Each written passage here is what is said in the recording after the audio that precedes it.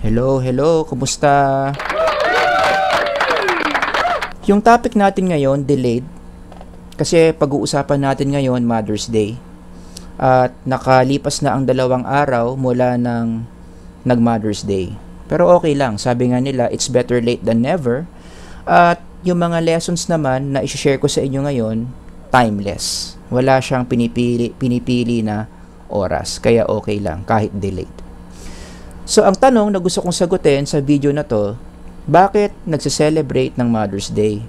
Napansin ko kasi marami mga tao tuwing Mother's Day, nagse-celebrate sila ng Mother's Day pero hindi nila naiintindihan yung psychological reason kung bakit kinakailangan gawin o i-celebrate ang Mother's Day.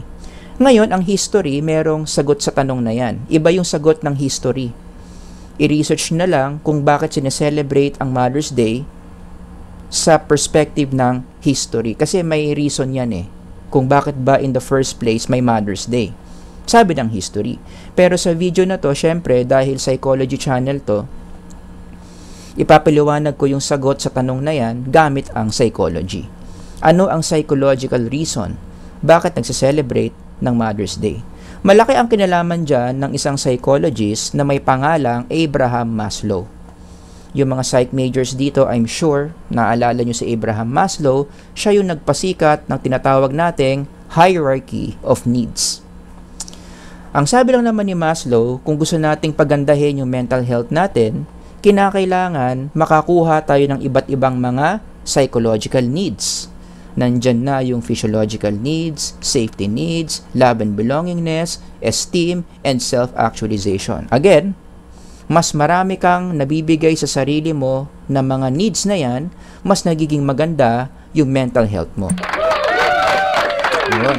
Kaya kung gusto mo pataasin yung mental health mo, o pataasin yung mental health ng kaibigan mo, o ano ang paraan? Sabi ni Maslow, eh bigyan mo yung sarili mo o yung ibang tao ng mga needs na yan. Okay? So kayo nang bahala ang mag-research kung ano ba yung iba't ibang halimbawa ng mga needs. Physiological, safety, love and belongingness, self-actualization. Kasi ang ifo-focus ko lang dito sa video na to is yung tinatawag nating esteem needs.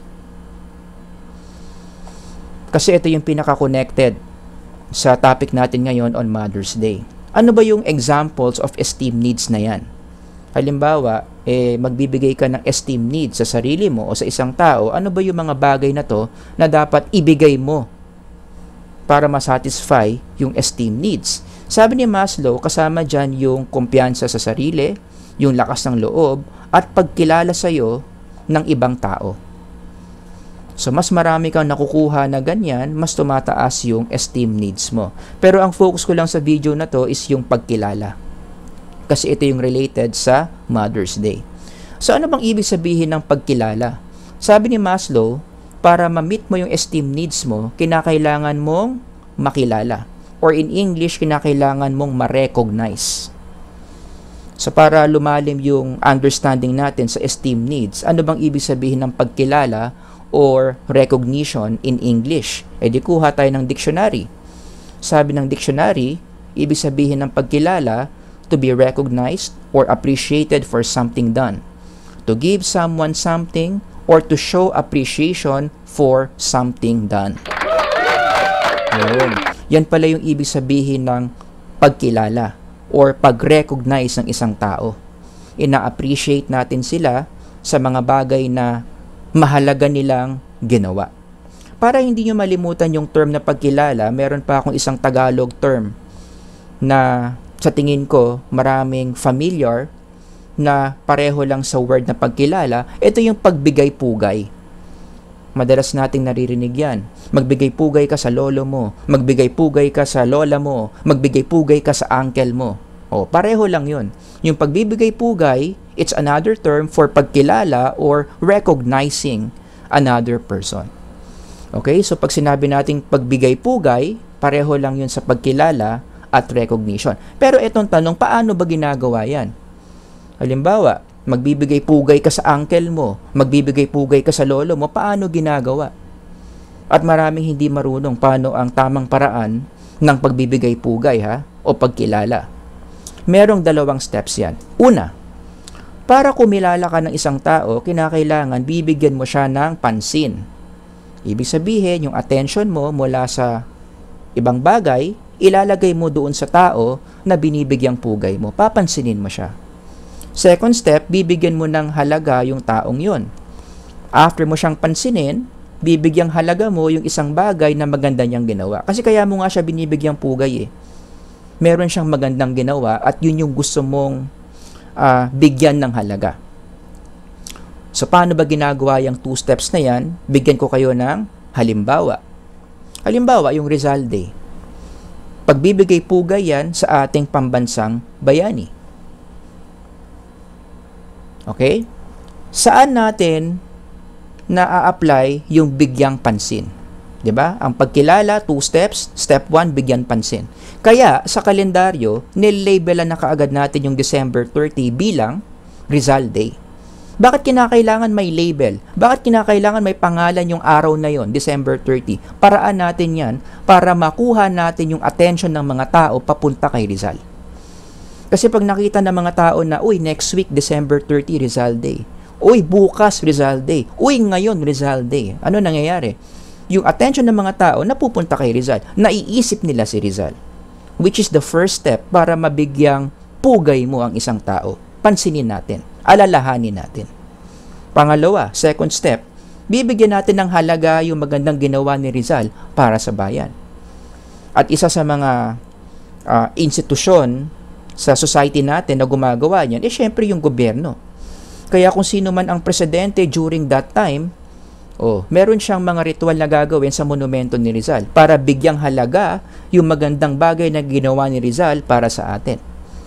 Diba? So pupunta yung presidente doon, sasaludo siya sa monumento ni Rizal, uh, merong mga bulaklak na ilalagay doon. Lahat yun ginagawa dahil binibigyan natin ng halaga yung magandang bagay na ginawa ni Rizal para sa atin. Another example, ito mas marami makakarelate. Naalala nyo during elementary years or kahit high school, bakit merong recognition day? Ano nangyari sa recognition day? Lahat ng estudyante sa lahat ng year levels magkukumpulan sa isang auditorium tapos magtatawag ng mga estudyante sa harap ng stage. Papalakpak yung mga estudyante 'di ba? Kapag may tinawag sa harap ng stage at yung estudyante na sa harap ng stage na pinapalakpakan kukuha ng medalya o ng certificate mula kay principal. Bakit ginagawa yan sa recognition day? Kasi nga ito ang paraan ng eskwelahan para mabigyan ng esteem needs yung mga estudyante. O i-apply natin yung two steps ulit. Paano natin binibigyang pansin yung mga estudyante during recognition day? Kaya nga sila rumarampa sa stage. Pag tinawag yung pangalan mo, tapos naglakad ka sa stage, maraming tao doon pinapalakpakan ka. Yung attention nila nasa iyo, nakatingin sila sa iyo. Kailangan mo kasi yon para mabigyang pansin ka. Bakit meron kang kukuning certificate or medal kay principal? Yun naman yung pagpapahalaga. Dahil yung eskwelahan, binibigyan nila ng halaga yung mga accomplishments mo that year. Kaya ka may medal, kaya ka may certificate. Kasi naging magaling ka. Marami kang achievement nung taon na yon. Kaya binigyang halaga ng eskwelahan yung mga nagawa mo na yon. Okay, so yun yung point ng recognition day. Again, paraan niya ng eskwelahan para mabigyan nila ng esteem needs yung mga estudyante nila. Pero balik lang tayo kay Abraham Maslow, no? Sabi ni Maslow, kapag meron pala tayong binibigyang pagkilala o meron tayong nire-recognize o meron tayong binibigyang pugay, merong magandang nangyayari sa ating sarili. 'Di ba? At ano 'yon? Sabi ni Maslow, kapag ang isang tao nakakatanggap ng pagkilala, nakakataas pala yan ng mental health. Yes nakakataas yan ng mental health. Kaya kung may isa kang tao na kakilala, sa tingin mo mababa mental health niya. One of the reasons bakit mababa mental health niya, baka wala siya nakukuhang esteem needs. Kulang siya sa esteem needs. So anong dapat mong gawin? Gawa ka ng paraan para mabigay mo sa kanya yung esteem needs na kailangan niya. Okay? So i-connect ngayon natin lahat ng sinabi ko sa Mother's Day. Bakit may Mother's Day? Apply Kasi ito yung araw na kung saan sinisigurado natin na binibigyang pugay natin ang ating mga mahal na ina. Kaya may Mother's Day. Isa itong araw na kung saan gusto nating bigyang pugay, gusto natin i-recognize yung mga nanay natin. And again, apply natin yung two steps. Una, pansin. Paano natin binibigyang pansin yung mga nanay during Mother's Day? Kaya nga nilalabelan na naman natin yung araw na yon na Mother's Day kapag nakita mo sa kalendaryo mo na next week Mother's Day, nakita mo sa kalendaryo mo na bukas pala Mother's Day or ngayon mismo Mother's Day, automatic may isip mo yung mami mo. 'Di ba? Napapansin mo siya, naiisip mo siya. Kaya naka-label yung araw na yon as Mother's Day. Pero hihinto ba tayo doon? Hindi. After natin pansinin yung mga nanay natin, bibigyan ngayon natin ng halaga yung ating mga nanay. At ibang iba, iba't ibang paraan na yan. Depende sa pamilya, depende sa anak kung paano nagbibigay ng halaga sa nanay. Yung iba nagbibigay ng flower, yung iba halik, yung iba nagbibigay ng ampaw, yung iba ililibre yung mami nila sa paborito nilang restaurant, iba-iba. Pero ano ang point? Binib ginagawa natin yan, binibigyan natin ng halaga yung mga bagay na ginagawa nila para sa atin. Siyempre, binibigyang halaga natin yung existence nila. 'Di ba? Masaya tayo na nandiyan sila, kasama natin sila. But more than that, yung yung mga ginagawa natin sa mga nanay natin during Mother's Day, binibigyan natin ng halaga yung kanilang mga efforts na ginagawa nila para sa atin. Diba? Kasi alam nyo, grabe talaga ang mga nanay.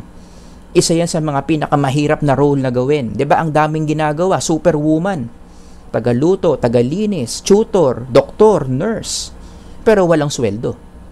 Talagang out of pure love lang. Kaya ginagawa ng mga nanay yung mga yan. 'Di ba? At yan yung binibigyan natin ng halaga, yung kanilang mga efforts. Alright? So, yun yung reason. Yun yung psychological reason kung bakit tayo nagse-celebrate ng Mother's Day. Pero wag tayo titigil dito, right? Sabi ni Abraham Maslow, balikan natin yung sinabi niya, kapag kinikilala natin yung mga mommies natin, yung mga nanay during Mother's Day, anong sabi ni Abraham Maslow? Merong magandang epekto sa kanila yan. Kapag si mami, si, ay sorry, kapag si daddy, yung mga anak, oh, lahat ng mga kapamilya nila, binabati sila ng Happy Mother's Day, kinikilala sila ano nangyayari, tumataas yung kanilang mental health. Kaya tuwing Mother's Day, maraming mga nanay matataas ang mental health, no? Bumababa yung stress nila nagkakagana sila na mas maging mabuting mga nanay, nai-inspire sila, and most importantly, mas nagiging masaya sila. Kaya marami mga nanay, no, masaya talaga pag Mother's Day. Eh. Kasi sa dami ng pagkilala na natatanggap nila sa mga taong mahal nila. Oh, di ba? Pero ito, meron akong tanong, no, na tinatanong din sa akin ng mga students ko dati to, ano ang kakaiba sa Mother's Day? Kasi kung iisipin ninyo, eh hindi ba ginagawa na naman to halos araw-araw ng mga anak o ng mga kapamilya ng nanay, di ba? Kinikilala na rin naman natin yung mga mamis natin eh, kapag kasama natin sila. So ano ang unique sa Mother's Day? Ang unique sa Mother's Day, sabi ni Abraham Maslow, kung babalikan natin yung esteem needs, no? Alam nyo ba na mas malakas pala ang psychological impact kapag yung pagkilala nang gagaling sa ibang tao. Meaning strangers in English. Meron din pala tayong ganong needs. Meron tayong need na ma-recognize tayo ng mga tao na hindi natin kakilala. Siyempre, kailangan din natin ma-recognize sa mga taong kakilala natin, mga kamag-anak, kapatid, mga magulang. Pero sabi ni Maslow, nagmamatter din na dapat eh binibigyan din tayong pugay ng mga tao na hindi natin kakilala, hindi natin kaano-ano.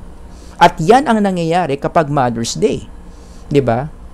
Isipin niyo yung logic ng Mother's Day. Kapag Mother's Day, halimbawa, isipin niyo lang, imagine niyo Mother's Day ngayon, ang tanong, sino ang babate sa mga nanay? Sino? Siyempre, number one, yung mga anak, yung mga kapamilya ng nanay. Pero hindi lang limitado sa mga kamag-anak niya yung babati sa kanya ng Happy Mother's Day.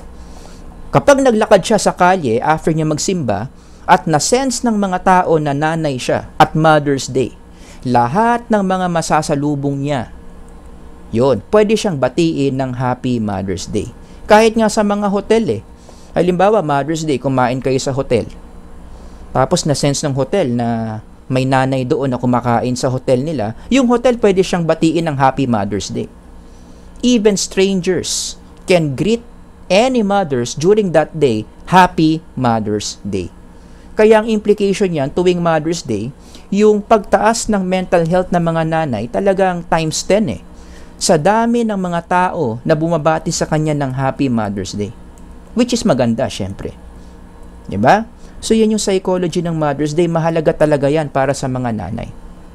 Binibigyan natin sila ng ng pugay, ng recognition on that day.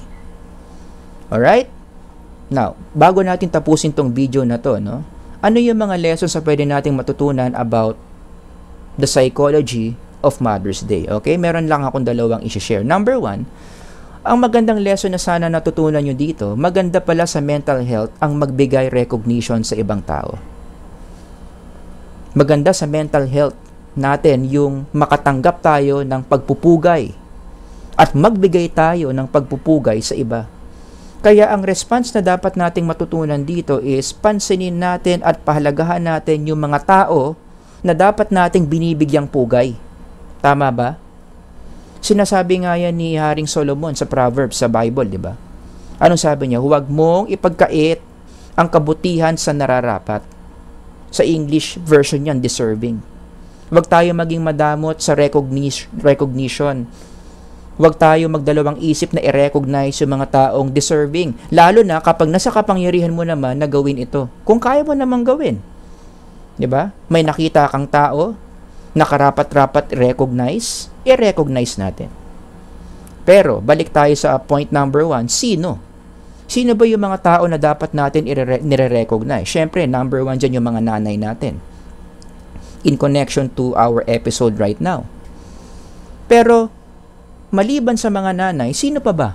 Hindi lang mga nanay ang dapat nire-recognize. Marami ako naniniwala sa society natin, marami mga grupo ng mga tao na dapat silang i-recognize pero hindi sila nare-recognize. Kaya marami sa kanila ang mental health nila bagsak eh. Oh. Sino 'yan? Like who? Oh, on top of my head. Sa tingin ko dapat i-recognize natin yung mga ating magigiting na mga garbage collectors eh. Tama ba? Dapat i-recognize natin yung ating masisipag na mga janitors na naglilinis ng ating kapaligiran dapat nire-recognize natin yung mga food panda drivers, mga grab drivers na naghahatid ng mga pagkain natin. Minsan nalilimutan natin gawin yan, no? Kain lang tayo ng kain. Hindi natin sila nare-recognize. Oh, another example on top of my head, sa tingin ko, dapat nire-recognize natin yung mga magigiting natin mga security guards. Minsan nasusungitan pa natin sila. 'Di ba? Pero yung mga buhay nila nakataya para lang bantayan tayo. Oh. Dapat, eh, i-recognize din natin sila. Actually, kung ako lang masusunod, gawa natin lahat yan ng mga days. Diba? Merong garbage collector day, merong janitor's day, merong mga delivery driver's day, merong security guards day. Hanggat maaari, lahat ng profesyon sana merong mga kanya-kanyang mga days. Yung araw na yon, i-recognize sila. O, di ba ang ganda nun? Yan. Kaya yun ha, yun ang lesson. Huwag tayo maging madamot. Kapag may nakita tayong tao na talagang ginagawa niya yung best niya, i-recognize natin sila. Number two, hindi kailangan isang araw lang para kumilala. O, balikan natin yung topic natin ngayon, Mother's Day. Ibig sabihin ba niyan, magbibigay pugay ka lang sa nanay mo pag Mother's Day? Hindi dapat. Ang punto dito, eh dapat araw-araw Mother's Day. Tama ba? Kasi believe it or not, marami akong kakilala, nagbibigay pugay lang sa mga nanay nila kapag Mother's Day. Yung 364 days, wala. Dead ma si mommy. Hindi dapat ganun. 'Di ba? Huwag na natin antayin yung Mother's Day to recognize our own mothers. Dapat araw-araw natin silang nire-recognize. Kahit sa Biblia, yan ang katuruan, di ba? In Deuteronomy o, isa sa mga sampung utos yan. Igalang mo ang iyong ama at ang iyong ina, MWF. Sinabi ba dyan, MWF? Hindi. Igalang mo ang iyong ama at iyong ina, TTHS. Hindi. Walang sinabi. Kahit sa New Testament, inulit ni Apostle Paul yan eh. Yung utos na yan. Sundin ninyo ang inyong mga magulang tuwing Mother's Day. Hindi sinabi. Walang sinabi. Basta sundin ninyo mga magulang. At sa Biblia, kung walang particular na araw o oras na dapat mong gawin yung utos, ibig sabihin progressive yan. Araw-araw mong ginagawa yan. Okay? Ang keyword dito is every day. Every day. Ang pagbibigay pugay sa iba't ibang mga tao, lalong-lalo na sa ating mga nanay, dapat everyday ginagawa yan. Oh. At ito, alam nyo, naalala ko rin yung utos ni Jesus dito eh. Very consistent. Di ba sabi ni Jesus dito, kayo ay magmahalan. Magmahalan ng MWF. Ganun ba sinabi? Magmahalan ng TTHS. Hindi. Magmahalan kayo. Basta magmahalan kayo, gawin yung habit yan. Every day.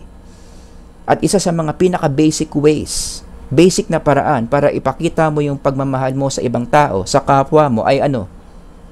I-recognize mo sila. Bibigyan mong halaga yung mga ginagawa nila. Papansinin mo sila. Again, kailan ginagawa yan? Every day, araw-araw. Okay? Lahat ng tao na deserving ng recognition, wag nating kakalimutan na i-recognize natin sila. Lalong-lalo na, syempre, in connection sa episode natin ngayon, yung ating mga nanay. Alright?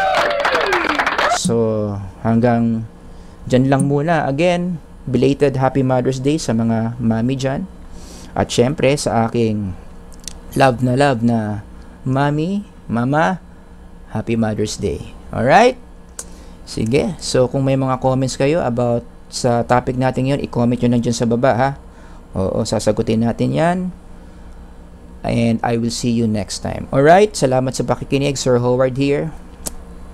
God bless. Bye-bye.